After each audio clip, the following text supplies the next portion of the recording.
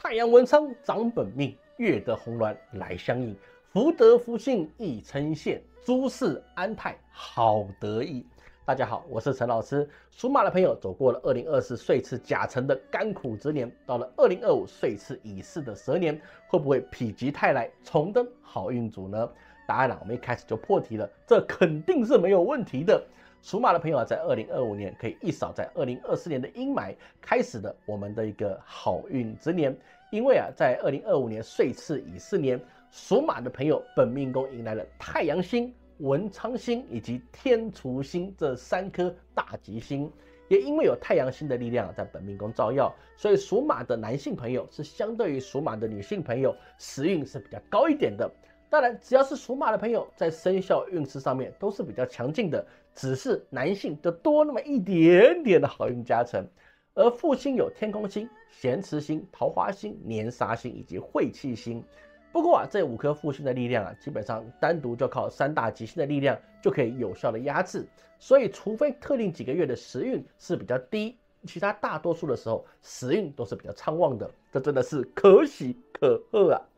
在事业上，岁次乙巳年是我们属马的朋友一个很好的一个发展之年。毕竟本命宫里面就有太阳星这个扶植事业的超强吉星外，还有文昌星这个智慧之星，所以无论任何行业，那都可以获得这两颗星宿的扶持，让事业发展可以有一个不错的新高度。尤其是针对技术性职业的朋友，受到天厨星的加持。只要有心，自己的技术跟质量都可以大幅的提升。而比较需要注意的就是属马的朋友，你的自律问题。因为什么呢？因为人在好运的时候啊，总是很容易飘起来啊。我觉得我真的太快乐了，啦啦啦啦啦，对不对？我随心所欲啊，真的是过太得意了。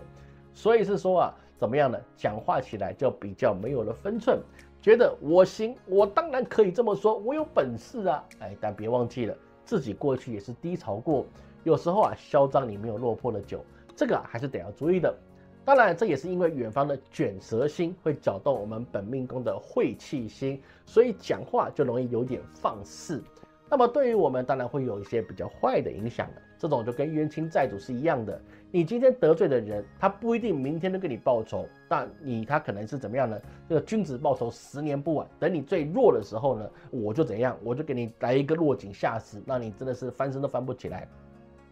那解决这个方法最好的方式呢，那怎么样呢？就是你一开始就不要结仇，你不就没事了吗？这不是比较好的方法吗？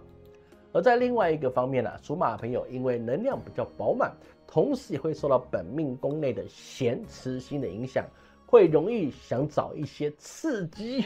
也就是利用自己的职位或者是身份啊，来对身边的人做一些非分之想。哎，这还别说啊，你成功概率还是蛮有的。哎，但是成功也不会是因为你的魅力很高，或是你的手段很厉害，或是人家觉得你真的超帅超美的，不是哈，那是远方的阴杀星。要来给你的行为做一个一剑破九贵的状态，要让属马的朋友这艘原本航行稳定的大船，一下就把你变成泰坦尼克号，就是铁达尼号，直接给它拦腰翻覆了。所以自律还有自爱，哎，自重，这是我们属马的朋友在这个非常吉利的岁次乙巳的蛇年，必须要时时刻刻警醒自己的的状态。而在其他方面来看呢，除了本命宫的力量强大，远方也有龙德星以及紫微星的力量来照耀。对于从事内勤或是体制内的朋友，官运就显得比较强大了，自然对于争取晋升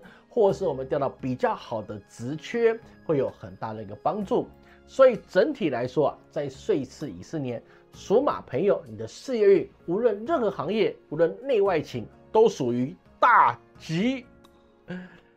接下来我们看一下财运啊，在岁次乙巳年，属马朋友的财运啊也是可圈可点的。因为除了本命的三吉星之外，远方有福德星、福星的照耀。这两颗啊啊，它当然不是专职于财富的一个财星啊，但是它正面的力量很强大，所以连带的财运也会相对于二零二四年来说会有很显著的提升。但是我们也观察到，远方啊还有一颗玉贵星，哎，它就是妥妥的财星在照耀我们。可以把我们整体的财运啊再提升了一个层次，而这个提升呢，当然少不了正财，所以从事业务类或是营销类的，或是经营公司的老板来说，今年的整体绩效都是可以比较有机会正面提升许多。但这里老师要提醒一下，因为远方有一颗小号星在一闪一闪亮晶晶，所以对于做业务或是行销相关工作的朋友，你要特别注意你的成本的变化跟后勤能不能跟上，会不会我们原本制定的这个方案可以获得。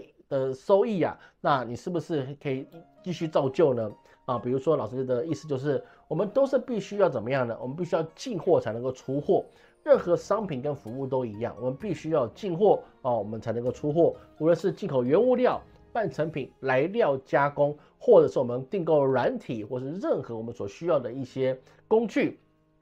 嗯，但这个这个国际物流便利的一个时代啊，基本上你要考虑到了运费成本，或是订阅成本，或者是什么汇率成本，还有它的适法性，更甚至更甚至是有什么保险成本，都会有比较大的波动可能。我们如果没有掌握好这些的后勤变化，那么即使我们做成了一件大单，但是忽略了成本的变化，那就可能少赚或是不赚钱，做身体健康的状态。如果你只做身体健康，那就还好。比如是说呢，举个例子来说，今天你可能需要做一个做一个项目，它需要一些专业的软体，但是对方就觉得对我们来讲是禁售的。哎，比如说中美贸易战，有些东西可能中国在美国那边买不到这个软体。啊，或者是说授权方面会有更换的代理商，因为出现了问题，那很多事情啊，我们没有先知道，没有先做好准备，我们就把它接这个案子，那后面如果交不出来，那问题是不是很大呢？那就更可能就不是做身体健康而已，你看还要赔款的状态，这是要注意的。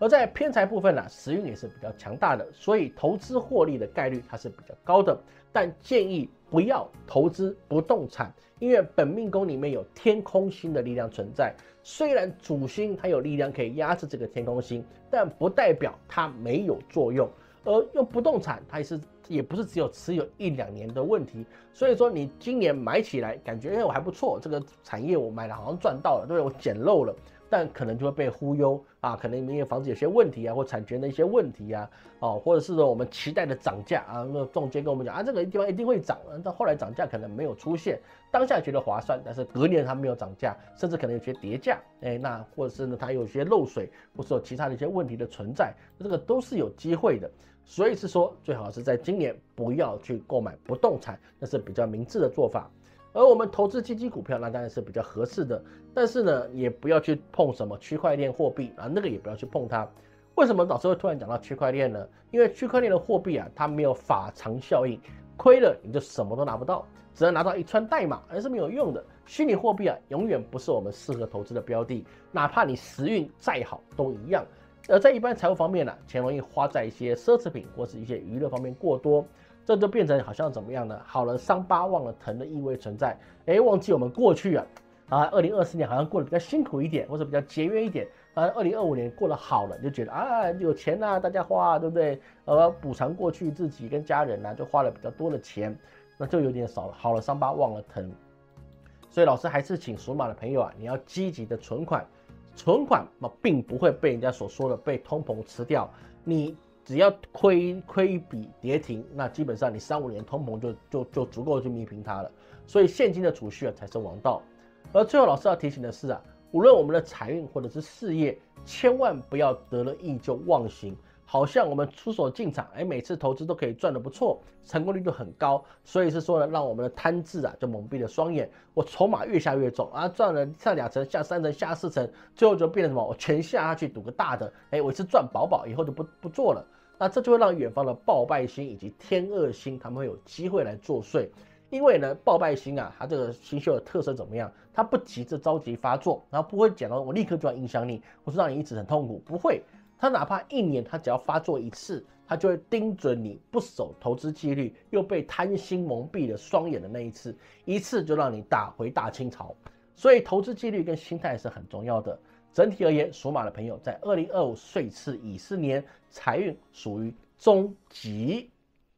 接下来我们看一下感情，在岁次乙巳年，桃花星啊就在我们属马朋友的本命宫内，这当然也就意味着属马朋友桃花运可以说是很不错的。加上远方又有红鸾星这颗正宗的姻缘星来呼应，配合了事业的发展运势好，所以就可以是说属马朋友啊，他在二零二五年是属于事业爱情两得意的状态。所以单身的朋友在这个乙巳年可以好好的把自己打理一番，多参加一些社交场合啊，遇到心仪的、喜欢的，我们可以大胆一点，采取主动示好以及邀约，争取一下我们的爱情发展的机会。我们主动一点了，当然机会自然就多了一点嘛，对不对？但是要注意，本命宫里面还是住了年杀星以及咸池星，所以刚开始交往不要急着脱裤子，哎，好好确认彼此的关系，好好交往一段时间，确定对方跟自己所想的那种人是一样的，而且三观也蛮合的啊，那我们都可以互相了解一定程度了，我们再考虑要不要脱裤子嘛，对不对？